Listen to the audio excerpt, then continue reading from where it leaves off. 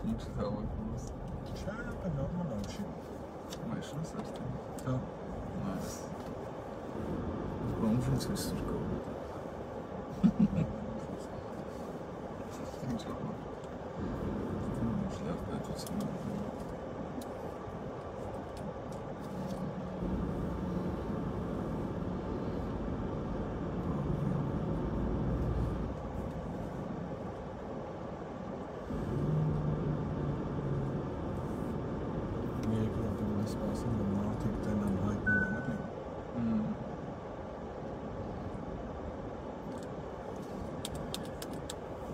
Բարև ձեզ, սիրելի Facebook-յան հետևողներ, սիրելի ընկերներ ու հայրենակիցներ, եկեք մի րոպեի չափ սպասենք, թող մի քիչ մարդ հավաքվի։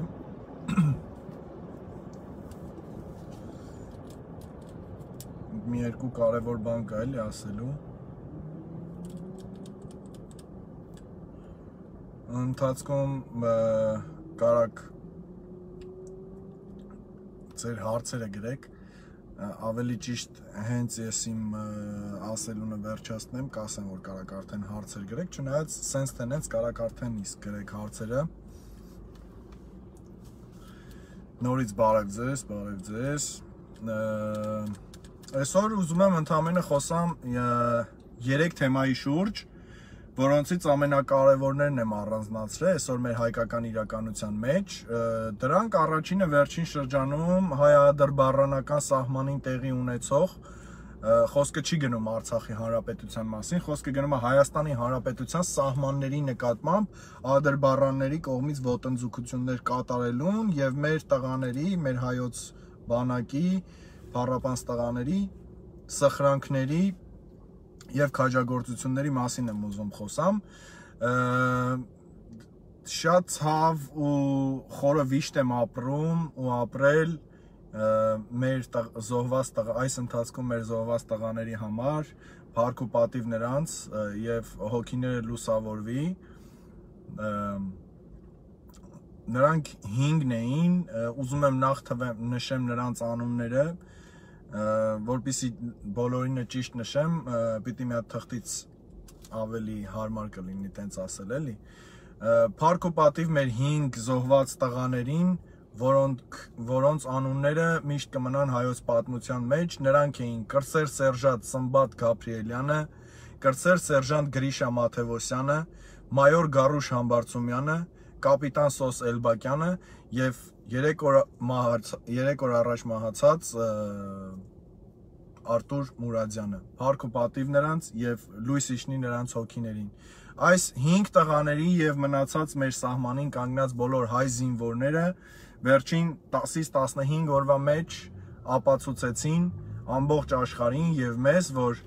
այո, մեզնից ոչ ոք չի կարող հող խլել, մեզ մեր դեմ ոչ մեկ չի կարող ոտնձգություն կատարել եւ հայկական բանակը անպարտելի է եւ վերջ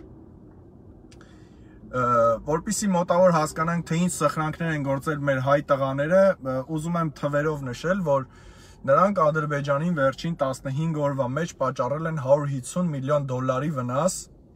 եթե ոչ ավել, դա միայն ֆինանսական առումով, չեմ ասում մարդկային կորուստների քանակը, չեմ ասում նաև Ադրբեջանի հատուկ ջոկատայինների, այսինքն սպեցնազի Յաշմա կոչված ջոկատի ը, ծուղակը ընկնելը 40%-ով սատկելը եւ մնացածը գերի մնալը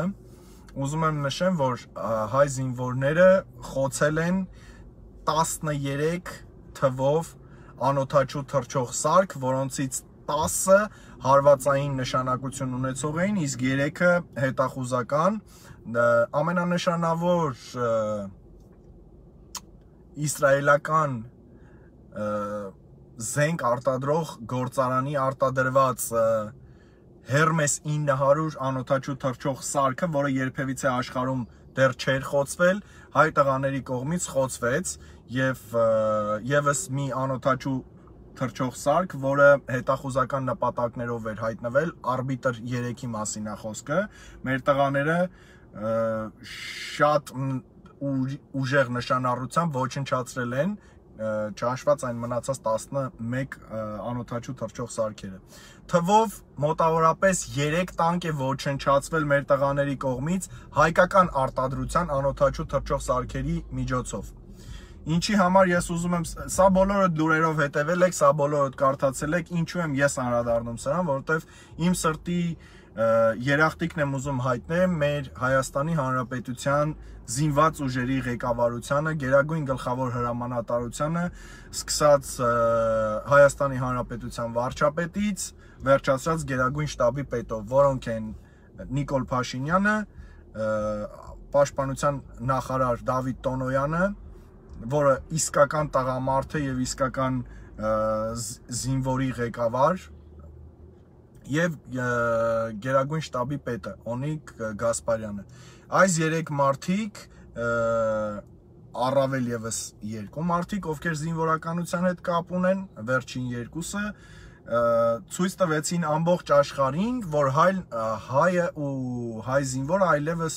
ուրիշից օգնության սпасելու կարիք չունեն եւ մենք ենք մեր գլխի տերը եւ մենք կարող ենք լուծել մեր հարցերը հող տվող չկա, ինչպես և, Դավիթ Տոնոյանն ասաց, նոր պատերազմ, նոր տարածքներ, ոչ թե խաղաղություն տարածքների դիմաց։ Մենք այդ ձևաչափից վաղուց հեռացել ենք։ Եվս մեկ անգամ շնորհակալություն տղաներին, եվս մեկ անգամ լույս իշնի զոհվածների հոգուն եւ անցնեմ արագ հաջորդ կետին, հաջորդ կետը հայ-ազերբայջանական չեմ վախեն այդ բառը օգտագործել, որովհետև նրանք իրոք բառան են, հայ-ազերբայջանական ազգամիչյան բախումներին է վերաբերվում։ Խոսքս այս այս իրադարձությունները փոքրին զայրացրել են ու բարկացրել են ոչ միայն ինձ, այլև նաև շատ մարդկանց ստեղծվել է երեք կարծիք մարդկանց մեջ, որ այո պետք էր, այո պետք չէր, կամ չեզոք դիրքում են գտնվում, մենք խաղաղասեր ենք, մենք հումանիստ ենք, մենք տոլերանտ ենք։ Մենք կարող ենք լինել ամեն ինչ, բայց երբ խնդիրը հասնում է մեր լինել թե չլինելուն, այսինքն կամ մենք կամ ուրիշը, ես նախընտրում եմ մենք։ Ես նախընտրում եմ իմ դպրոցական երեխան ապրի, Ադրբեջանի դպրոցական երեխան սատկի։ Կոպիտ է հնչում, բայց այսպես եմ ես նախընտրում։ Եթե ընտրություն կա իմ ու դիմացինիս, ով ադրբեջանցի է, ես նախընտրում եմ իմը։ Իսկ ովքեր դեմ դեմ են դրան, ովքեր ինչ որ գլխներին սպիտակ պսակը հայտնվելու իրանք սրբի տեղ են իրանց դնում։ Եկեք մի մոռացեք, որ պատերազմը ու պատերազմում ամեն մեթոդ կիրառելի է պրովոկացիան մեզնից չի սկսել, ազգամիչյան բախումները մեզնից չի սկսել։ Ես կարող եմ ասել, որ ամեն ինչ սկսվել է Լոս Անջելեսից, ազգամիչյան բախումները, եւ ես այստեղ լինելով, ավելի մոտ լինելով այդ ամեն ինչին, ավելի ականատես լինելով իմ աշկով տեսածը եւ այն մարդկանց, ովքեր ներկայումս ինձ հետ են, այս բանին մենակ էլ չեմ, կողքս մարդ կա, ով անձամ մասնակցություն է ունեցել այդ միտինգներին, ես կարող եմ այսպես ասել. Մեր հայ համայնքը առաջի օրը երբ գնացել էր Ադրբեջանի հյուպատոսարանի դեմը բողոքի ձայն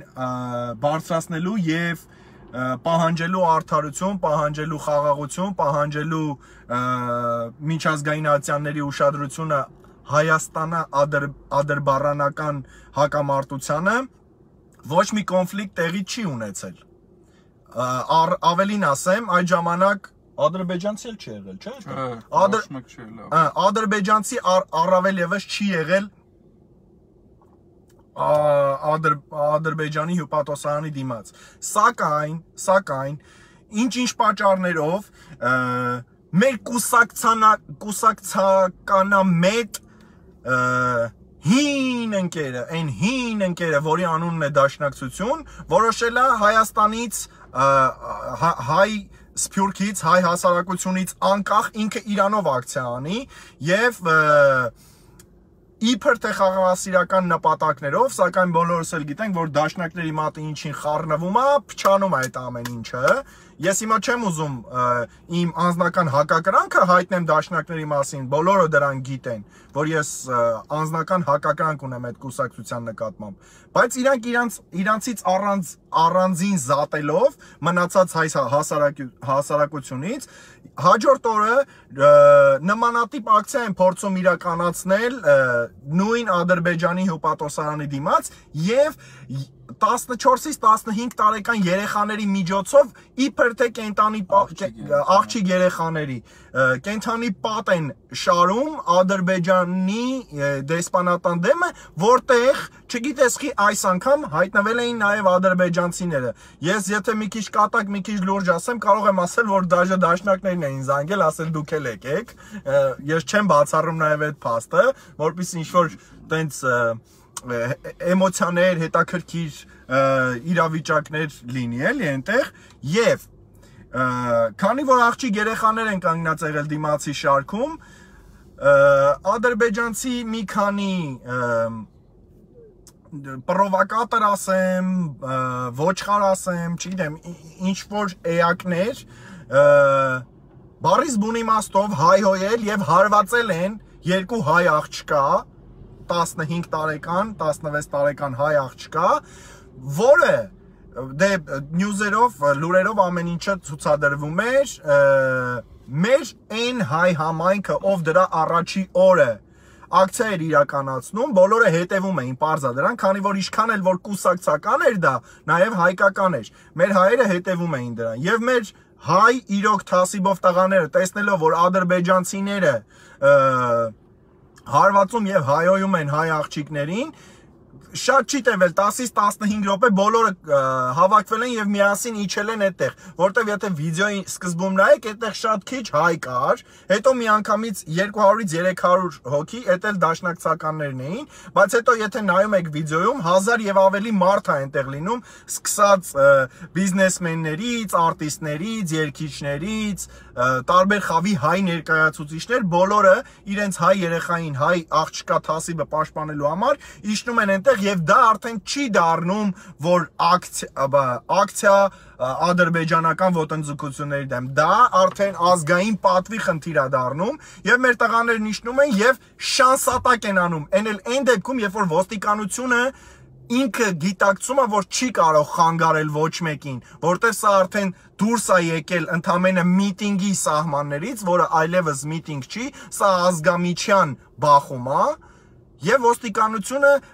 մոտավորապես փորձում էր ինչ որ բան անել, որպիսի հանդարտեսնի իրավիճակը, բայց քանի որ 2000 եւ ավելի հայ տղա վազում է քո վրա, առավել եւս այն դեպքում, երբ որ նեղացրել է իր ազգի աղջկան քրոջը կամ ընկերուհուն կամ երեխային, այդ դեպքում ոստիկանություն չէ, ով ուզում է լինի, դիմացը չի կանգնելու։ Եվ մեր տղաները այո ճիշտ են արել, որ շանսատակ են արել։ Իսկ այդ դեպքում ադրբեջանցիք թողնելով իրանց դրոշը փախել են։ Դրանից հետո բոլորը սկսեցիք ասել, ինչու եք տարածում, չէ, Լոս Անջելեսի դեպքերը սկզբում բոլորդ գովում էիք։ Բոլորն էին գովում։ Ա տեսեք մեր տղաների թասիբը, մեր տղաների թասիբը, մեր տղաների թասիբը։ Հաջորդ օրվանից սկսեց ազգամիչյան բախումներ, աշխարհի մնացած երկրներում, Բրյուսելում, Ռուսաստանում, Ֆրանսիայում, եւ այլ Գերմանիայում, Ավստրալիայում, Կանադայում եւ հայտնվեցին Facebook-ում վիդեոներ, որտեղ հայ տղաները ծեծելով այդ չնայած դրան ծեծել պետք չի ասել, սատկացնելով լարում էին երկու ադրբեջանցու, որոնցից մեկը հայտնվել էր ինչ որ լճի մեջ, մյուսը Քիդբերան Արուն Լվիկ վազում էր։ Սա եւս պրովոկացիա է եղել ադրբեջանցիների կողմից, որովհետեւ պատմությունը գար ինչի համար են այս տղաները հարցակվել այդ երկուսի վրա, որովհետեւ նրանք նախկինում երկուսը չեն եղել, 5-ն են եղել, 3-ը հասցրել էին փախնեն, երկուսը չէին հասցրել փախնեն եւ ստացել էին իրենց բաժին ծեծը։ Դրանից հետո սկսեցին մեր հումանիստ հայերը, մեր տոլերանտության աստվածները Facebook-ներում եւ այլ սոցիալական հարթակներում գրել, որ տղաներ, սա պետք չի անել, սա շա- սա շատ լուրջ խնդրի առաջ է մեզ կանգնեցնելու, սա պետք չի, կտեսնեք վերջում ինչա լինելու եւ հաջորդ օրը չգիտես ինչի հայտնվում է եւս մի տեսահոլովակ այս անգամ երբ որ ադրբեջանցիները 5-6 հոգով հարցակվում են հայ հայկական համարներով պետհամարինչներով BMW մեքենայի վրա, որտեղ երկու հոգի են լինում ներսում եւ ծեծի են ենթարկում, որոնցից մեկի թիկունքին, եթե չեմ սխալվում, դանակով հարված է լինում։ ինչը մահացու չի լինում, բան չի լինում։ Բայց դրանից հետո նորից հայտնվում է եւս մի տեսահոլովակ, որտեղ ադրբեջանցին զենքի սպառնալիքի տակ հայ մարդուն ասում է խոստովանիր թե ումն է Ադրբեջանը, թե ումն է Ղարաբաղը, իսկ հայը անգամ զենքի սպառնալիքի տակ ասում է որ ձերը չի, մերն է Արցախը։ Դրանից հետո արդեն սկսում են մի քանի վիդեոներ Ռուսաստանից տարածվել, թե ոնց են ադրբեջանցիները մի հատ տարիքով պապիկի ծեծում, դրանից հետո տարածվում է մի հատ վիդեո ոնց են հայերը քարերով գնում ադրբեջանական ռեստորանի պատուհանները ջարդում եւ ռեստորանի գույքը վնասում։ Սա արդեն քաղաքական չի, սա արդեն ռազմական չի, սա ազգամիչյան բախումը, որը պետք է այսպես թե այնպես տեղի ունենար Լոս Անջելեսում նմանատիպ բախումից հետո ամբողջ աշխարհում պետք է տևի։ Սա կարող է նաև շարունակական բնույթ կրել։ Իսկ այն մարդիկ, ովքեր ասում են՝ «Մի արեք, պետք չի հանգստացնում են», լավ եք անում։ Հիմա եթե ամեն ինչ կրքերը հանդարտվել է, ուրեմն հանդարտվել է, բայց եթե սա շարունակվի, մեր կողմից անպատասխան չի մնալու։ Դա ես ասում եմ որպես այստեղ Լոս Անջելեսի ապրող մարդ եւ Լոս Անջելեսի մարդկանց անունից եմ ասում, որ բոլորս այստեղ ինչքան էլ որ մենք խաղաղասեր ենք, բայց Պաուլ Սևակը լավ խոսք ունի, չէ՞։ Մենք խաղաղ էինք մեր լեռների պես, դուք հողմերի պես խուժեցիք վայրակ։ Ոնց որ ոնց որ իրանք մտադրված մտնելու ենք մենք մենք ճարահացյալ թխելու ենք Էդ էլ Ղարաբաղցիների акցենտով պատասխանեմ։ Մեզ պրովոկացիայի ենթարկել պետք չի։ Մենք բոլորս հասկանում ենք, որ այո, բռնությունը, կոպտությունը, ծեծը, ջարդը դրան դրանք հակաօրինական են, հակամարտկային երևույթներ են, որոնցով պետք չի տարվել։ Եվ ես համաձայն եմ դրան, բայց եթե բանը հասնում է նրան, որ ես պիտի պաշտպանեմ իմ անձնական կյանքը, իմ ընտանիքի, իմ ընկերոջ, իմ բարեկամի, իմ երեխայի կյանքը, ես պատրաստ եմ ամեն ինչի անգամ մեքենայով վրաերթի ենթարկելու 1 չէ 11 ադրբեջանցու։ Ու մենակ դա ես չեմ, դա մի ամբողջ հայկական գենոֆոնդ է, որը մտածում է հենց այդ մասին։ Սա այսքանով Ուզում եմ նաև մի բանը ողջունել այս հայ-ադրբարանական ազգամիչյան խնդիրների հետ կապված դա Ռուսաստանաբնակ հայերի համախմբվելն էր, երբ այն երկու ոչխարը, երկու յաշիկ ծիրան էին տրորում եւ Ռուսաստանի Մոսկվայի կենտրոնում գտնվող ամենամեծ առևտրի կենտրոններից մեկը Food City ասվածը ում սեփականատերը կամ տնորենը, չգիտեմ ով էր, ադրբեջանցի էր, արկելներ հայ առևտրականներին իրենց ապրանքը մցնել ներս մեքենաներով եւ մեր առևտրականների ֆուրերը մնացել էին դրսում։ Կեցեն հայ Ռուսաստանի հայ համայնքը, ովքեր համախմբված այդ 100-ից 150 մեքենա ծիրանի հարցը լուծեցին։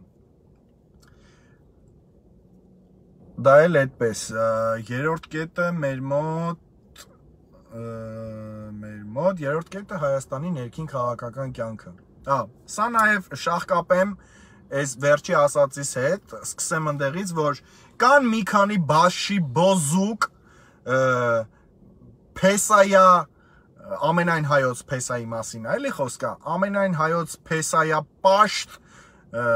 եւ Փեսայի լափամանից, իրենց դեմը նետված լափամանից կրճոններ ուտողներ Զիբիլի հետ, դրանք ներկայումս 4-ն են, բոլորը շատ լավ գիտենք, դրանք Նարեկ Մալյանա, Կոստանտին Տերնակալյանա, Արտուր Դանելյանա, Սամսոնյանա, խառը է զանգվածն, հա, որոնց չեմ էլ չեմ ես ուղղակի իմ մոտ էլ չի տեղավորվում թե Հայաստանի պետական անվտանգության մարմինները սկսած ազգային անվտանգությունից վերջացրած ոստիկանությունով ինչու չեն զբաղվում այդ երևույթներով, էլի երեք չի առաջի օրը վիդեո էր հայտնվել, որ դրանք ծաղրում են Ռուսաստանի հայերին, ովքեր ծիրանի հարցը լուծեցին, առան այդ ամեն ինչը, չմնաց հայ գյուղացու ապրանքը գյուղացու վրա եւ մենք կեղծ, ես երևի կեղծ սփյուռքահայ եմ, դու կեղծ սփյուռքահայ ես, տղա ջան։ Գնա թրաշդ մաքրել տուր, որ թրաշ ունես, դա չի նշանակում, որ տղա ես դու։ Գնա թրաշդ մաքրել տուր, թե չէ որ ուրիշի ձեռն ընկար, դրսից եկանք, մենակ թրաշը չէ, սաղ մարմինը տեն թրաշելու ու հետդ ուրիշ բաներ անեն։ ինչը կարծում եմ քեզ դուր չի գա, եթե տաղա ես, էլի։ Դրանց հարցը լուծելա, պետք է այս սա արդեն նաև ներառում է Հայաստանի ներքին քաղաքական կյանքի մեջ, իրանք իրանց երևակայել են ինչ որ դեմքեր, ովքեր աուդիտորիա ունեն եւ իրենց ձայնը լսելի է ինչ որ մե դուք այլևս ծիծաղելի եք բոլորի համար չհաշված որ Նարեկ Մալյան դու նախկինում Վովա Գասպարյանի կոֆե դնողն էիր Արտուր Դանելյան դու Նիկոլից Աբիժնիկ մնացած ես Կոստիկը իր բլոգ նյուզով չգիտեմ միշտ է տենց եղե Միշիկ նյուզ պլյուս սաստավն է եղե այն մյուսը ը, ինձ գցողի մասին է էլի խոսքը Սամսոնյան Նարեկի մասին է խոսքը դրա մասին вообще չեմ ուզում խոսամ, դա ոնց գցող եղել է սաղին, տենց է գցելով։ Վերջում վերջում ես հավատում եմ, որ բանին էլ է գցելու։ Միշիկին էլ է գցելու ինքը։ Ամ Սա Հայաստանի ներքաղաքական կյանքի են այն այն կտորը, որի մասին ուզում էի խոսայի եւ ը, կապեցի ես վերջի ծիրան դեղց ը, առու վաճառքի մասին չեմ ուզում ասեմ, որ նրանք ձեռ էին առնում հայ գյուղացուն, որտեղ նրանք այդքան չկան, որ ձեռ առնեն հայ գյուղացուն։ Հայ գյուղացին մի օր եղանը վեկալելու է թարս մծնի հետևները։ Թարս նկատի ունեմ լենքին, էլի։ կարևոր ներքաղաքական իրադարձություններից, որոնք են, այս պայն քննարկվում են ու շատ է արծացվում Հայաստանում կրթության ոլորտի հարցը եւ հայկական դասագրքերից դասավանդվող առարկաների շարքից կամ դասագրքերից հանելու ինչ որ բաներ վերջերս երկու օր առաջ խոսակցությունները գնացին որ հայկական դասագրքերից գրականության մեջ 12-րդ դասարանից հանվում է նարեկածին ու բոլորը սկսեցին վայնասուն կապել, որ օհ, ինչու եք դուք աղավաղում հայոց գրականությունը, օհ, ինչու եք դուք չգիտեմ էս անում, ինչու եք են անում, բայց գոնե տեսել եք ովքեր են այդ գրողները, ովքեր լատինատար գրում են, որ կներեք այս արտահայտությանս լատինատար ու ռուսահայ, այդ ռուսահայ ռուսատար գրելու մի հատ շատ լավ նախադասություն կա։ Երբ որ մեկին մեկը ռուսատար էր գրում, նրան հարցրեցի, ասեցի, կներես, ո՞նց կգրես էլի նախադասություն, ասեմ ռուսատար տառերով, ռուսերեն տառերով ո՞նց կգրես այդ նախադասություն, ասեցի իմ համար խնդիր չկա։ Դու ասա ո՞նց որ նախադասությունն է պետք գրելու, ասեցի գրի հայրս քեզնով հպարտանում է։ Գիտեք ոնց գրեց ռուսական տարերով։ Խայր խայրս քեզնով խպարտանում է, չէի ուզում ես բառը ասեի։ Ասենք այդ այդ նման տիպի մարդիկ խոսում են հայոց գրականությունից ու նարեկացից։ Կյանքների մեջ գոնե գիտեք նարեկացինով է։ Գոնե իմացել եք նարեկացինով։ Մի անգամ նարեկը վերցրել եք մատյան ողբերգություն կամ չգիտեմ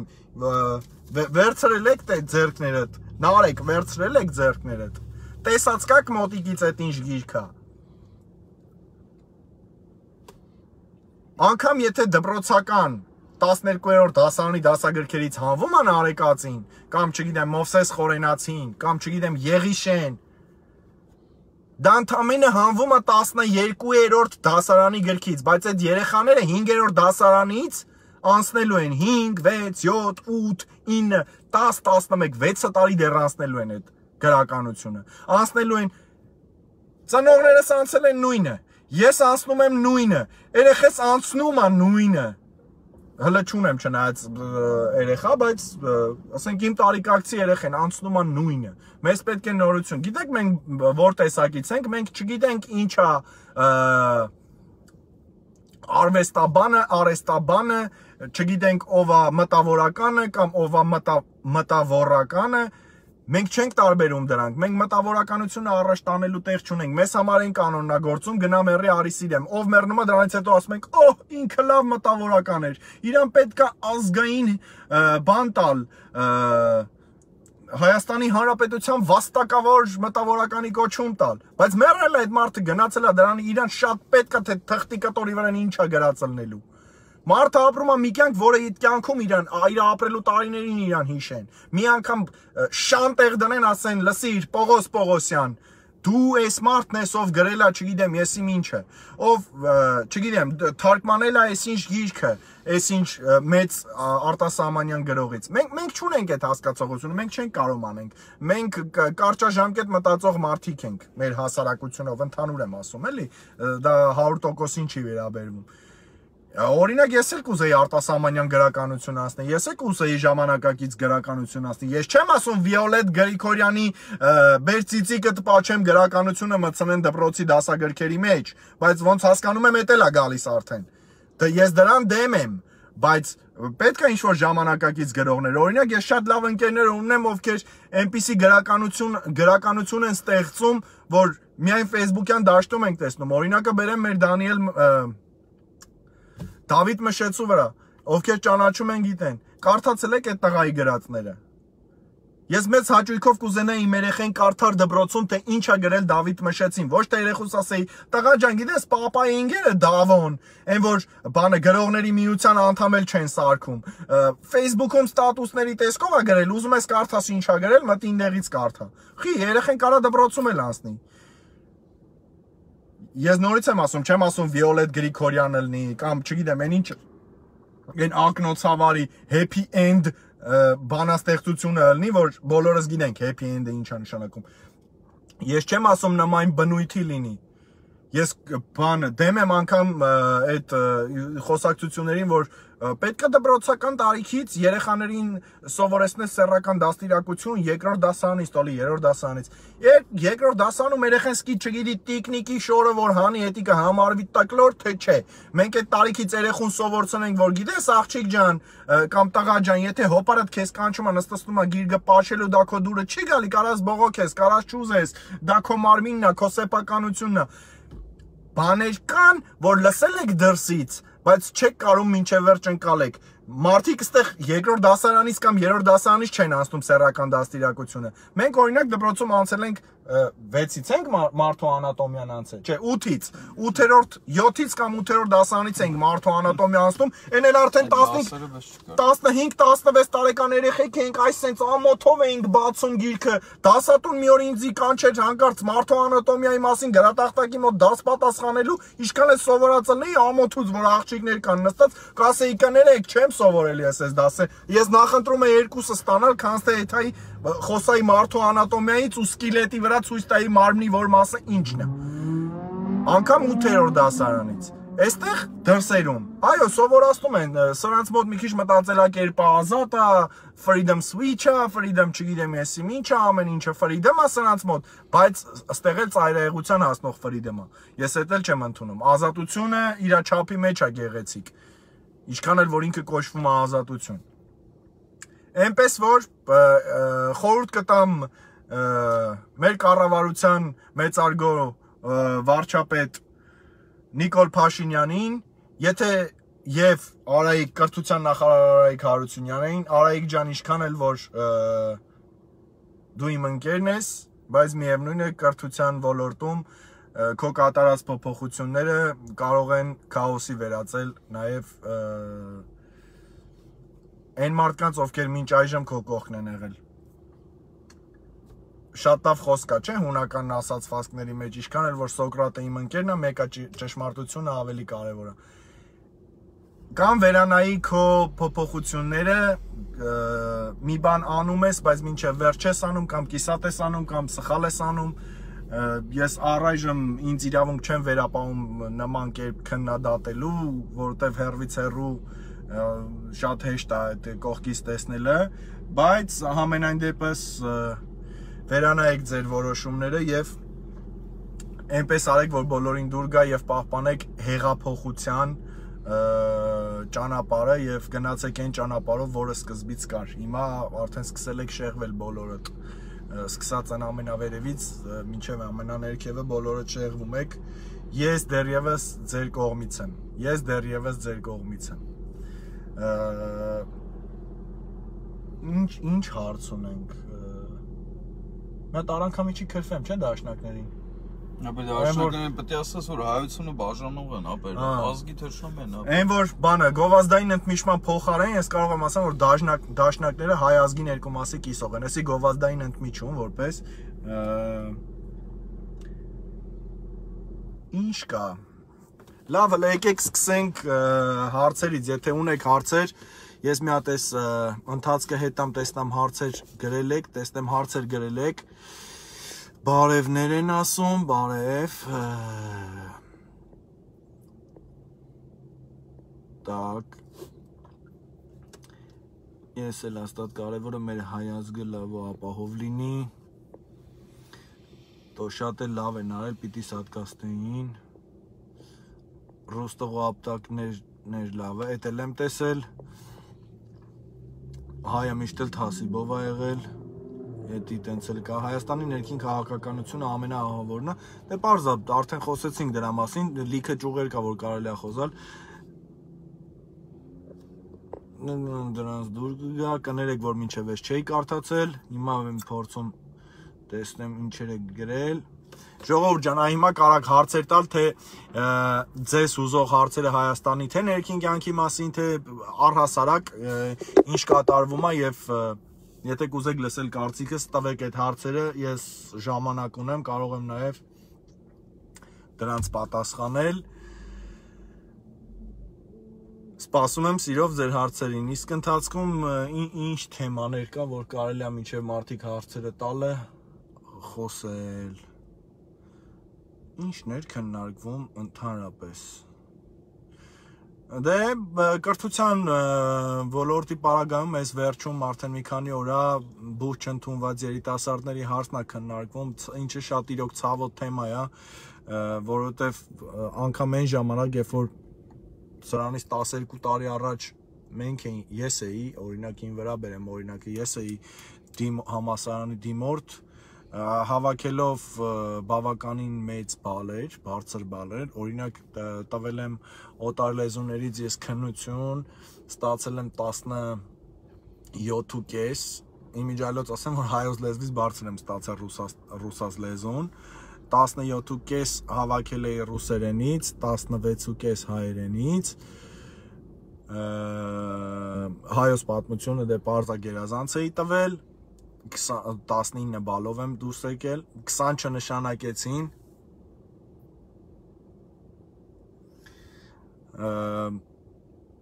Ամենայն դեպս ես այդ բարձր բալերով չկարողացա ընդունվել պետական համալսարան, որովհետև այն ժամանակ, չգիտես ինչի Ստեփանավանի քաղաքապետի աղջիկը ունենալով իմ այդ հավասար բալեր, ինքը ընդունվեց անվճար պետական համալսարանի իրավագիտության բաժինը, ես չկարողացա ընդունվել։ Իսկ քանի որ ես ֆինանսական միջոց չունեի Երևանի պետական համալսարանում վարձ վճարելու, ես ընդունվեցի Պլեխանովի ակադեմիայի մասնաճյուղը Հայաստանում, որը կոչվում էր Երևան համալսարան, որտեղ մի տարի սովորելուց հետո տեղափոխվեցի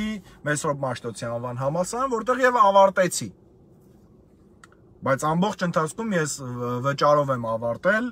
շատ բարձր գրեթե գերազանց գնահատականներով միայն եղել է մի երկու առարկա, որը անգլերեն է սա մի քիչ ցածր եղել, չեմ ասում ծույլիկ եմ եղել անգլերենից, բայց ամենայն դեպս ցածր է եղել։ Մեկ էլ մի երկու առարկաներ, որոնք քանի որ ես հերրակա էի սովորում, բայց իմիջալոց ասեմ ստացիոնար երեխեքից շատ եմ դասի եղել, մի քանի այտենց ոչ կարևոր առարկաներ, չնայած ես կարծ հիմա արդեն կարծում եմ, որ ոչ կարևոր առարկա գոյություն չունի, ուղղակի այդ պարագայում իմ համար ոչ կարևոր էին դրանք մասնագիտական առումով այդ առարկաներին եմ հաճախակի բացակայել եւ ճիշտ է քննությունները տվել եմ, բայց բացակայություններս հաշվի առնելով փոքրինչ ցածր եմ ստացել, դրա համար կարմիր դիպլոմ չի իմը։ Կարամ մի քիչ տենց փուքսս թողած ելնեմ, էլի որ հանկարծ չասեմ կարմիր դիպլոմով տաքսի եմ քշում։ Չէ, կարմիր դիպլոմ չի իմը, բայց ինչը վերաբերում է մասնագիտականին, շատ լավ տիրապետում եմ, դա քաղաքագիտություն եւ իրավագիտություն առարկաներն են, հայոց պատմությունն է, փիլիսոփայությունն է, մարդկային հոգեկերտված, հոգեկառուցվածք, նման բաներ։ Այդ հարցը լուծվող հարցա, բոլորն էլ կարող են ընդունվել եթե լինի դա անգամ 30000 դիմորդ, որը ուզենա պետական համասարան ընդունի, դա ֆիզիկապես անհնար է այդքան ընդունվի, այդ հարցը կլուծվի, կարծում եմ, վստահ եմ գրեթե։ Այնքան ճիշտ բաներ ասեցիք, բան չմնաց հարցնելու։ Չեմ կարծում, որ հարցեր չունեք, ավելի շուտ չեմ կարծում, որ ամեն ինչ ասեցի, որովհետև ինչքան էլ չլինի հերո եմ գտ։ Հա, մի բանից եմ ուզում հիմա խոսեմ, քանի հիշեցի։ Քանի որ մենք մի ամբողջ աշխարհ հիմա ամբողջ աշխարհով գտնում ենք կորոնավիրուսային, այսինքն COVID-19 համաճարակի պայմաններում մեզ պետք են հակա համաճարակային օրենքներ, հակա համաճարակային կանխարգելիչ միջոցներ, որոնց դեմ այսօր Հայաստանում գնում է հակակարողություն։ Հարգելիներս, մենք ապրում ենք ես եւ ընկերս ով հիմա կողքս է, մենք ապրում ենք Ամերիկայում Ամերիկան համարվում է երևի աշխարհում առաջիններից մեկը, ով օրենքի երկիր է։ Եթե դու այստեղ դրսում Գլենդել քաղաքում առանց դիմակի ոստիկանը քեզ նկատի, դու առավել եւս երբ որ անձը հաստատող փաստաթուղթ չլինի մոտդ, դու չես կարող ես ուզում եմ հասկանամ էլի այդ ինչ դու խամտել մեր հայերի մեջ որ կարող են ոստիկանի հետ այտենց խոսան Հիմի ես մի քիչ ծաղրելով ասեմ, արա բա Սերժի վաղտի չէի կտենց խոսում։ Դե հիմա ձեզ ազատություն տրվեց հեղափոխությունից հետո, հիմա ոնց ուզեք դու մեր ծառան ես, էլի մեր ծառան են այդ մարդիկ, բայց այդ մարդկանց համար առաջին օրենքն է։ Երեք վիդեո եմ նայում մեր հայտնի դեմքերից մեկը, ով նաև իմ Facebook-յան ընկերների մեջ կա, կարծում եմ չի նեղանա ինձնից, որ ես սա ասեմ, հյուսիսային պողոտայում առանց դիմակի քայլում էր Նրանից ասեցին անձը հաստատող փաստաթուղթ, ասես չունեմ անձը հաստատող փաստաթուղթ, բայց իմ տվյալները բոլորը ասում եմ ու խոսում եմ ոստիկանի հետ կուրաժի տնելով։ Եղբայր չի կարելի, նախ սկսենք այդից։ Դու խոսում ես օրենքի մարդու հետ, ով համազգեստով է, ով ծառայության մեջ է, նա իր ծառայությունն է կատարում։ Դու քայլում ես հասարակական վայրով, որտեղ հակահամաճարակային ստեղծված Պարետ կոչվածի կողմից ընդունվել են օրենքներ, որոնք ժամանակավոր են մինչև այս համաճարակի ավարտվելը։ Դա չի հակասում սահմանադրությանը գլուխս չհարթուկեք, թե սահմանադրության 4-րդ հոդվածի եսին որ կետի չ մասի համաձայն ես ազատ եմ իմ գործողություններով Սահմանադրությունից իմ հետ մի խոսացեք։ Ես իրավունքի մասնագետ եմ, ես գիտեմ շատ լավ ինչ է գրած սահմանադրության մեջ։ Բայց գոյություն ունի արտակարգ իրավիճակ, որտեղ սահմանադրության չէ, ուզում է Անգլիայի մեծ խարտիան բերեն դեմ տան քեզ, դու ոչինչ չես կարող անել, որտեղ պետք է ենթարկվես հակահամաճարակային բոլոր կանոններին։ Մարդը ոստիկանը հարցնում ասում է, անձը հաստատող փաստաթուղթ ունես մոտդ, ասում է, չունեմ, բայց սաղ իմ տվյալները կասեմ։ Մարդը ասում է, ինձ պետք չի քո տվյալները, դու կարաս ասես Samsung-յան Samsung վզգոյի։ Ես չեմ կարա դրանով համոզված լինեմ, որ դու ես։ Ցույց տուր ինձ անձը հաստատող փաստաթուղթ։ Խնդրում եմ, ընկեր ջան, ինձ մի հատ ասա, դու ստեղ տնից դուրս գալուց կարաս առանց ID քարտ ունենալու դուրս գաս տնից։ Դաժե եթե լավ ասեց, դաժե եթե մարմնավաճառ ես, պատի հետդ ունենաս այդ անձը հաստատող փաստաթուղթը, որովհետև ոստիկանը որ կանգնեցրեց, եկավ ասեց ով ես, ինչքան էլ դու ուզում ես սուրբ ձևանաս, եթե դու մարմնավաճառ ես, ID քարտդ մոտդ չեղավ, անձը հաստատող փաստաթուղթը չեղավ։ Իմ մոտ անգամ 3 հատ կա անձը հաստատող, չեմ ասում բանկային քարտերի մասին։ Ես ունեմ եւ վարորդական իրավունքը, եւ ունեմ գրին քարտը եւ անգամ սոցիալական քարտս է իմ մոտ։ Եթե չեմ սխալվում, հայկական паспортս էլ բարդաչոկի մեջ։ Ստեղ պետք ունենաս, չունեցար, չես կարա միլիցիոն ասես ինձ խի ես զբերման ենթարկում Հələ այդեղ նուր փրավիրում են, կարողա մի քիչ քաշքշես միլիցիոն, հա, վիդեոներում երևում է, որ միլիցիա գլավ է լոլորում են, պարկը ստում են էլ գետնին։ Լավ են անում Դուք պետք է ստեղ տենակ ոնց են մարդ պարկստում գետնին։ Մի քիչ հակաճառվես էլեկտրաշոկը հանում անեցա սխկստում չորանում ես մի 5 րոպե գետնի վրա։ Մարմնովը այնքան տոկ անցնում, որ դու էլ ես կարելի է դրանից հետո քեզ գժանոց տանել։ Ստեղ ոչ մեկ միլիցիոն չի հակառակվում։ Մի քիչ ավելի երկար սկսես բանավիճել, առանց հարցնելու, առանց նախազգուշացնելու կհանի կկրակի անգամ վրետ։ Որտեվ ունի ինքը այդ իրավունքները։ Ինքը օրենքն է պահում, իսկ դու խախտել ես օրենքը։ Ինքը չգիտի դու ինչ ձևի մարդ ես, դու հանրային դեմք ես թե չէ։ Պարտադիր չի որ ցանկացած ոստիկյան իմանա, որ Չախալյան Դավիթ դու ով ես։ Դու մեր ընկերն ես, դու լավ երգիչ ես, դու X Factor-ի մասնակից ես, լավ տղա ես, նորից եմ ասում, մեր ընկերն ես, բայց ոստ Երևանում կա, չգիտես, երևի 10-ից 20000 ոստիկան, բոլորը պարտավոր չեն քեզ իմանան, որ ուղակի ֆիզիկապես դեմքով քեզ տեսնեն ու ասեն, «Ա, բա Դավիթ նախ Չախալյան, արի պրոստը գրենք տուգանքի վրան Չախալյան Դավիթ 10000 դրամ դիմակ չունենալու պատճառով»։ Դու պարտավոր ես քո հետ ունենալ այդ անձահաստատող փաստաթուղթը վերաբերվող նաև այս հակահամաճարակային թեմային ընկերներիցս մի ուրիշը, ով կարծում եմ ինձնից արդեն նեղացել է, մենք միասին նաև աշխատել ենք, այն օրը հարցազրույցը տեսա ու նաև Facebook-ում է հիմա գրել, որ հարգելիներս օգնեք ինձ 50000 դրամով երկրից ուզում եմ հեռանալ։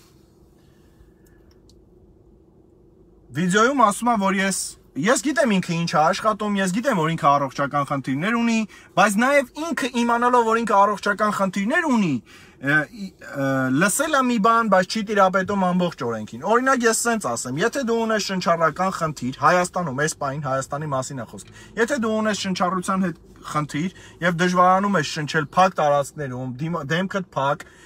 քեզ Պարետի որոշումով, Պարետի ընդունած օրենքով քեզ թույլատրվում է առանց դիմակի քայլել ուր ուզես բայց դու պիտի քո տեղական պոլիկլինիկայից ունենաս քո բժիշկի կողմից ստորագրած թուղթը, որ այո, դու ունես այս այս ինչ բրոնխային ասթման, բրոնխային շնչառական խնդիրները, շնչուղիները փակ են, դրա տապալյա տապալի։ Ես ես ձեզ անձնական օրինակով բերեմ, հիմա կասեք ամեն ինչը քո հետ կատարվել է, ամեն ինչը իմ հետ չի կատարվել, պրոստը ես էլ ձեր նման հասարակ մարդ եմ, ով ունի եւ ծնող, եւ բարեկամ, եւ ընկեր, ովքեր ապրում են Հայաստանում Ես ժամանակավորապես բացակում եմ։ Իմ մայրը ունի առողջական խնդիրներ։ Իմ մայրը շնչառության հետ խնդիրներ ունի։ Այսօր բայց իմ մայրը գնացել եւ տեղական պոլիկլինիկայից վերցրել է բժիշկի գրությամբ թուղթ, որ թույլատար բժիշկը արգելում է նրան քայլել փողոցում, բաց տարածքներում առասարակ այսենց,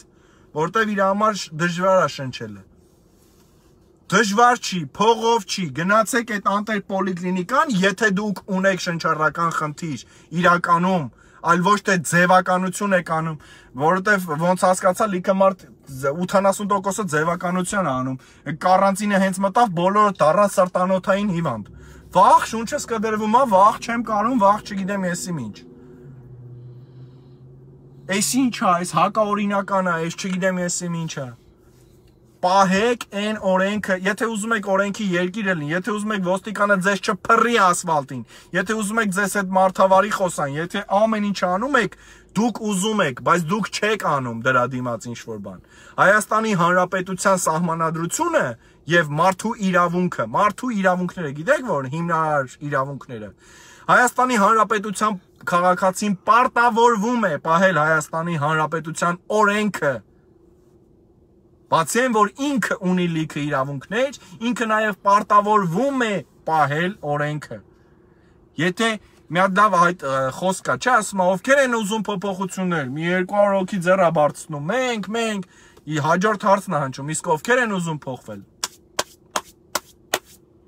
Չկա ձայն, անհող դող դե մուժիկը ինչպես քարը։ Այսինքն ասածս ինչ է, մենք ուզում ենք ամեն ինչը լավը լինի։ Մենք ուզում ենք երկու տարվա մեջ Նիկոլա Հայաստանը սարքի Սինգապուր։ Բայց մենք ինչ ենք անում անընդհատ։ Նիկոլա S, Նիկոլա N, S-ի S, N-ի N, S-ի ծախված է, N-ի հնից չի տարբերվում, N-ի հնի N ինչն է անում։ Մենք սիրում ենք անընդհատ խոսալ, քննադատել, քննադատել, քննադատել տեղին, անտեղին, սրան կպնել, նրան կպնել, դու ես ես, դու սրա սիրացնես, դու նրա, այն որ արդեն քաղաքական թեմա չի լում, անցնում են անձնական, այն որ բան չունեն ասելու մարդուն քաղաքական, անցնում են անձնականին։ Բա դու սրա սիրացնես, բա Աննա Հակոբյանը խիա զինվորի շորերակ է, բա Աննա Հակոբյանին խիան չես տալի։ Արա, զինվորա, նրա մոտ հյուր ես գնացել, նա պարտավորա քեզ հարգի, էդ է իրա բարևելու ձևը։ Երկու տարի այդ մարդը սենց է բարևում, ոչ թե ձեռով է բարևում։ Նրան է էսա երկու տարի անգամ եթե դու մտնում ես բան գնացեք մի օր Մուրացանի գոսպիտալ հոսպիտալ գնացեք փորձեք դռնից ներս մտնել մտնում ես ներս բանը հերթապահը քեզ չես տատալի կապ չունի դու ով ես Կապ չունի դով ես, որտեվ այդ մարդու բարևելու ձևը 2 տարի էտ է։ Աննա Հակոբյանին չես տեն տվել։ Էս ինչա կատարվում։ Աննա Հակոբյանը զինվորական բան է հակի։ Ես էլ եմ հենց հիմա զինվորականով։ Համ վերխը սատենց, համ սպարծիվ կես սատենց։ Ես սիրում եմ այս ոճը, ես եմ հակնում։ Դուք անարգում եք զինվորի հակուստը։ Դուք չգիտեմ ես ինչ եք։ Դուք ինչ եք անում։ Զինվորի համար ինչ եք անում։ Ստատուս եք գրում։ Ինձ ասում եք, որ ես անարգում եմ զինվորի հակուստը։ Աննա Հակոբյանը անարգում է զինվորի հակուստը։ Աննո Հակոբյանը այդքան չարժի, որ զինվորը իրան չես տա։ Ո՞նց չարժի։ Առաջին տիկինն է, վարչապետի կնիկն է։ Ո՞նց չարժի։ Ո՞նց չարժի։ Պետք է Սերժի Ռիտան լներ, թե Ռիտա չէր դրանը։ Ռիտա, հա։ Սերժի Ռիտան պետք է լներ, որ ասեր մի փոքր սպրավը սրանից հետո սենց մեծ բուկետ մի բերեք անհարմար է գրկել են հենց բռնակով բերեք որ կարողանամ վերցնեմ այդ ծաղիկը Սերժի Ռիտան պատիլներ որ համերգ դաթարացնեին համերգ դաթարացնեին ես Ալա Լևոնյանն էլ է ինձնից նեղանալու բա համերգ դաթարացնեին ինչա թե բդի բարև տան չնայած Ալա Լևոնյանն ասես լավ եմ արել դաթարեցել եմ այդ իր խնդիրն է ովքեր պետք է լինեին, ովքեր։ Սեյրան Օհանյանի կնիկ Ռուզիկը պետք է լիներ, որը մոռացել է էտել ֆրենդներից մեջ կա։ Որ ասենք դաժե աղունիկը բռնցներ իր շորի գույնի հետ։ Ու էլի ձեն անող չլներ, Տիկին Ռոզաննա կներեք։ Եթե բայց պետք է ասեմ, որտեղ ձեր ժամանակներով այտենց ա եղել ինչ ինչ պետք է լիներ, որ ձեր դուրը գար։ Ինչ ինչ եք ուզում լինի այս Հայաստանում, մի այսքան թիք է Հայաստանում, որին 30 տարի թարս հագցրել են։ Երկու տարում ուզում էիք բան կույս դառնար Հայաստանը։ 30 տարի բռնաբարել են Հայաստանը։ Ուզում եք երկու տարում բժիշկը կարենա գլուխ անի, գտնի այդ բժշկական տերմինով ասած թաղանթը եւ կույս սարքի, նոր կույս աղջիկ սարքի Հայաստանին։ Խանգարում եք ամեն մեկը միանից բիզը վեկալա ծակում արա այդ թաղանթը։ Ինչ արնախում եք, արունի սիրար եք, տենում եք ոնց սիրում եք ոնց արուն գալի կողից։ Չեմ ասում նեն քաղաքական աղբակույտում հայտնված են փնթիկ ուսակցությունները, որ ամեն մեկը իր հերթին ինչ որ բան անում, ինչ որ վաղուց մեռած մեռելները քաղաքական հելել են Նիկոլ Փաշինյանը դեռևս բանը հայ ժողովրդից ներողություն չի խնդրի։ Արա դու ով ես, Սարա։ Հələ մի հատ ասա Գուրգեն Եղիազարյան։ Իմ մոտ են 18 պլյուս անեկդոտ նա միտս գալի բեղերով բանի մասին որ ասում են Գուրգեն Եղիազարյան, կամ ասում են Գառնիկ Իսագուլյան։ Լավ չես գրնո։ Նյութի վերնագիրը կարդում եմ գրածա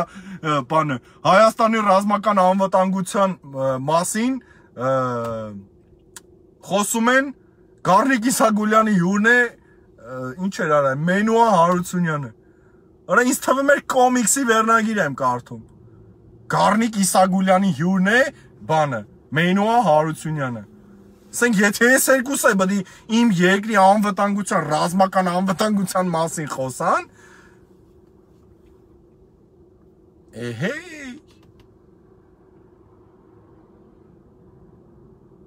Մարդիկ էլ կան դրա շեր, շեր, շեր, պազիլիցա, պաջալյացա արեք, ժողովուրդ ջան, պաջալյացա արեք։ Այդ մերելերին ուր եք հանում, արա ջրի երես։ Հոտ ա գալիս դրանց վրից, մերելի հոտ ա գալի դրանց վրից։ Ուր եք հանում։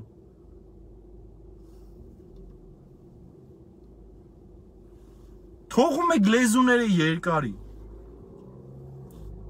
Հասկացանք մեդիա դաշտի 90% այսօր պատկանում է միշիկա, չգիտեմ ինչա, ռոբոտ ճուղական եսի ինչը։ Մի 80%-ը միշիկին, հա, ով որտե ինչ ուզում գնում է, որտե ոնց ուզում կպնում է, բանը, այն մի մի երևի 10% այն քոչարյանական ճուղն է, այն 5-րդ ալիքա, ինչա, 5-րդ շարասյունա, ինչա։ Ես Ես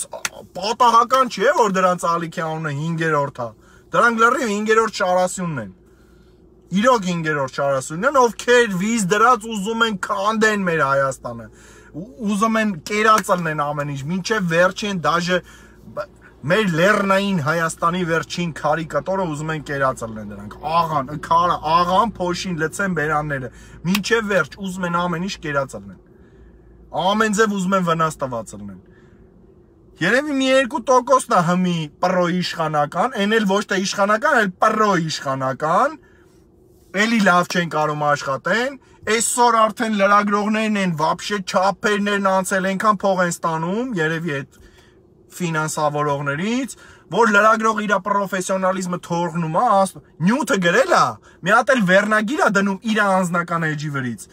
որ ու իր անձնական կարծիքն է հայտնում, ու շատ վատ կարծիք է հայտնում, էլ ու շատ գրեհի կոպի լրագրողական ցենզից դուրս կարծիք է հայտնում, որ ուզում ես ասես ցավը տանեմ, քեզ տեղ տանեմ, մի քիչ բուժվես Վրոձի ժուրնալիստ ես դու, լրագրող ես դու, դու իրավունք չունես sense խոսալու։ Քեզ նյութ հատաված տապի, բայց ոչ մեկ քեզ չի ասեք ու կարծիքը վերևը գրի։ Եթե ուզում ես անձնական կարծիքդ գրես, գոնե նյութը մի տեղադրի, իմանանք դա մենակ քո կարծիքն է։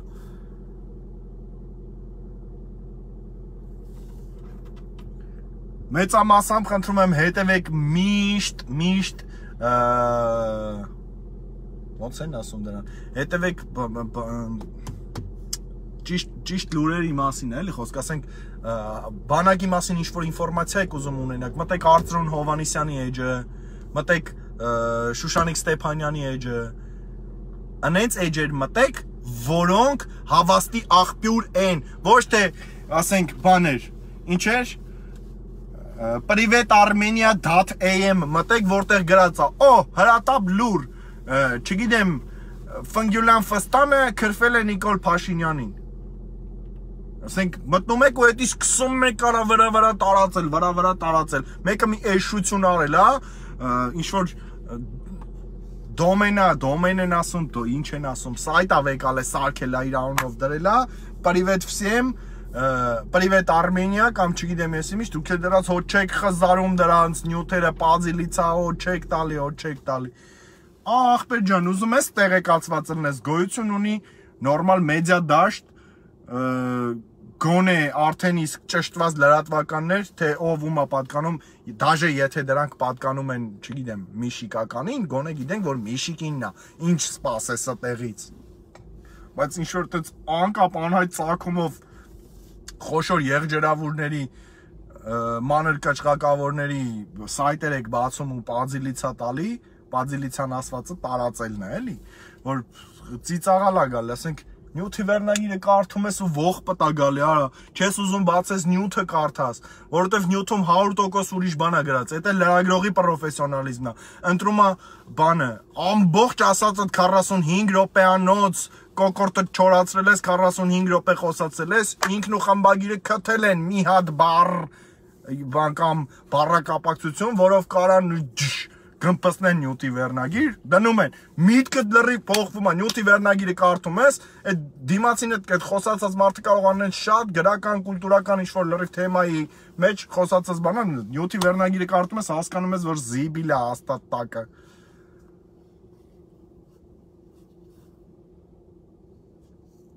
Էս չի մեր իրականությունը։ Ուզում ենք փոխվենք, փոխվենք, փոխվենք, փոխվենք Փոխվելը մենակ շորու կոշիկ փոխելով չի։ Փոխվելը այստեղով է պետք փոխել։ Նեղացել էին բոլորը, երբ որ Նիկոլն ասել էր մենք աղքատ ենք ստեղով։ Խի։ Խի եք նեղա, աղքատ չենք։ Աղքատ չենք։ Մարդը ասում է մենակ 12-րդ դասարանի գրքից եմ անում, բայնասունները հետ կապել եք 12-րդ դասարանի գրքից նարեկացին անում են։ Հարց եմ տալիս, որ մեկ, մի հատ ձեր բարձրիկ Հերթի կայնեք ու ասեք նարեկացի ով է կարդացել։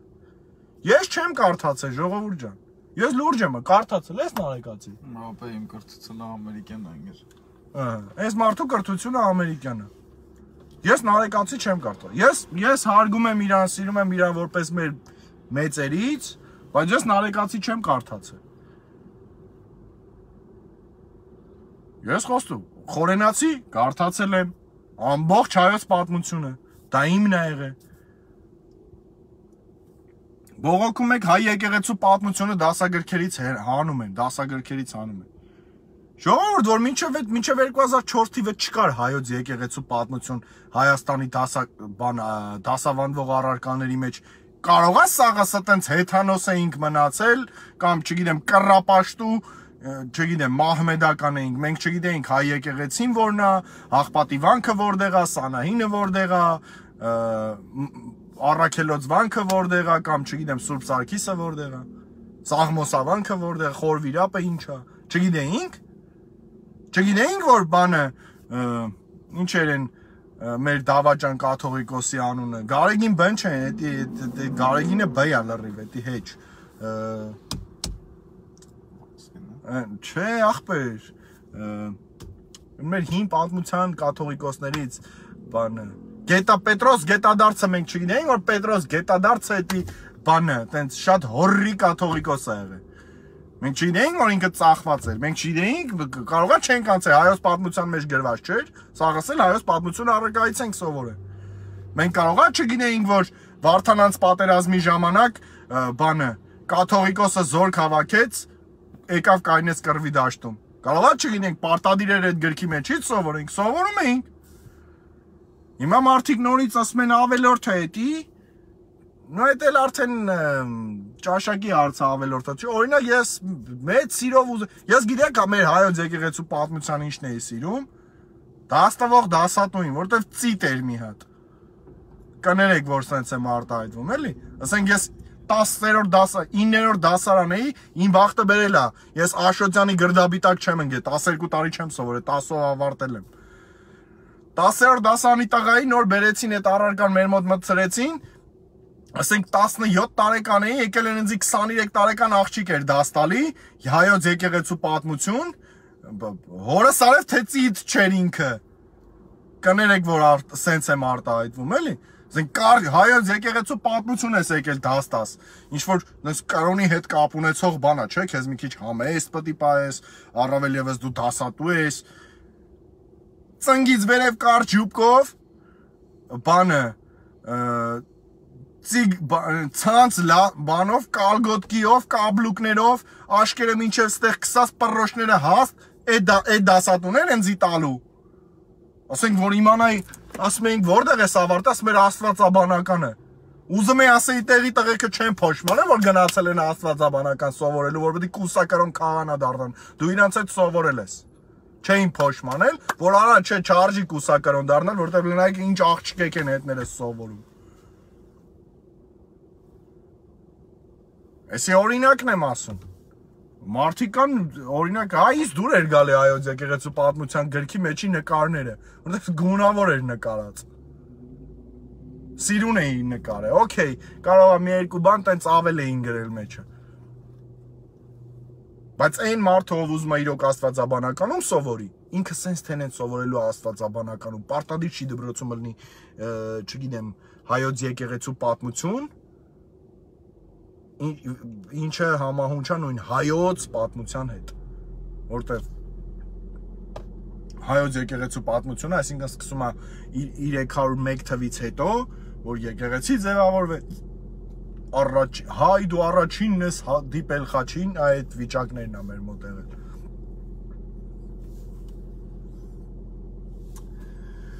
Լավ, տեսնենք ինչեր կան գրված այստեղ վաղջան կերել են էլ ոնց ուտեն, թուրքից վերան են դրանք, գարեգին բ ու խնդալու սմայլիկներ։ Անահիտ Մուրադյանը գրում է վաղինակ, ձեզ հիշում եմ էլեկտրիկ Երևանից, միշտ հավատացել եմ ձեր խոսքին եւ ոչ միայն ես, եւ հիմա էլ ասես ժամանակի այս անջր պետը չի էլ եղել ու նորից նույն հավատով եմ լսում, գնահատում եմ ձեր ազնիվ մաքուր խոսքն ու զգում նույն սրտացավությունը։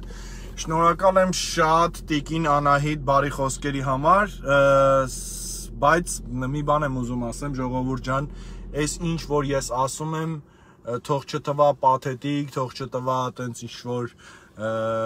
Այն որ ասում են դրսի հայերը ինչ որ հայրենասեր են ձևանում, այդքան հայրենասեր եք, եկեք սահման պահեք, եկեք ոստիկան դառեք, եկեք չգիտեմ էսի, ինչ արեք։ Միգուցե կան այդ ձևի հայեր, ովքեր պաթետիկ են խոսում, որտեվ գյուղ չկա շուն չլնի, բայց ինչը վերաբերվում է ինձ ու իմ խոսալուն, պետք է մարդիկ գոնե ճանաչեն դիմացինին ու հասկանան, որ այս մարդը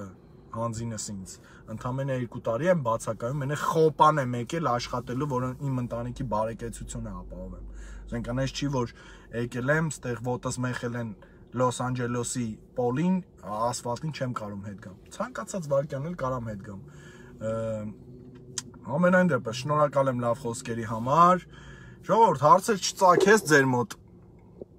ընդհանրապես ինչի մասին կարելի է խոսալ։ Ապեր դու հարց չունես ինձ տալու, մենք հարց դու խոսամ։ Բայց չքրֆես հորս արև։ Next time, brother. Next time? Yeah, easy, easiest way. Okay, okay. Fuck everyone. Anyway. That is true. Our nation and human up. Uh, of course. Armenian power forever, man. Ծխացրի Armenian pride fucking up. Ծխացրի, դու ծխենք մի հատ։ Մինչև մարդիկ հարց գրեն։ Ինչով էսա կիշնեմ կառնեմ։ Եթե հարց մարց չկա ժողովուրդ ջան, շնորհակալ եմ հետևելու համար, հուսով եմ տենց ինչ որ հետաքրքիր բացատրություններ կամ հետաքրքիր բաներ ասեցի, որոնք կարելի էր լսել կամ ցանկություն ունեիք լսելու կարող եք ցանկության դեպքում այս խոսացածս տարածել որ ով էլ չի լսել իրանք էլ լսեն բազիլից արեք էլի կոպիտ ասած առայժմ այսքան այսքանը նոր թեմա լինելու դեպքում էլի կմիանամ նախորդ տեղեկացնելով ու իմիջայլոց ասեմ ովքեր նոր էին միացել կամ լսում են հիմա ասեմ որ եթե ես լայվ մտնելու եմ լինում մի օր առաջ գրում եմ ինչ թեմայի մասին պիտի խոսամ ու որպեսի մարդիկ իմանան էլի տենց անպատրաստից չլեն ովքեր ում, ում հետաքրքիր է իմ կարծիքը հաջորդ օրը արդեն իմանան որ ժամին եմ լինելու սրա մասին գրել էի 3 Էնպես որ հետևեք էջին, իմ կողմից արված նյութերին ու post-երին։ Ովքեր ընկերության հայտ են ուղարկում, ներողություն եմ խնդրում, չեմ կարող ընդունել, որովհետև Facebook-յան ընկերներից քանակը սահմանափակ արդեն լրացել է 5000-ը անցել է նո չի անցել, ուղիղ 5000-ը եւ Facebook-ը թույլ չի տալիս ինձ ձեզ ընդունել որպես ընկեր, բայց մի վհատվեք, որովհետև երբ որ դուք սխմում եք отправить дружбу, դուք ավտոմատ կերպով ընկնում եք իմ պատպիսչիկներ, հետևողների մեջ եւ իմ կողմից արված ցանկացած նյութ, post, եթեր դուք տեսնում եք ձեր էջում անձնական նամակով էլ կարող եք գրել, սիրով կպատասխանեմ բոլորիդ։ Անպատասխան նամակներ չեմ թողնում։ Ինչով էլ կարենամ, կօգնեմ։ Շնորհակալություն, սիրում եմ բոլորիդ շատ։ Շնորհակալություն հետևելու համար եւս մեկ անգամ կհանդիպենք, երբ կհանդիպենք։ Լավ մնացեք։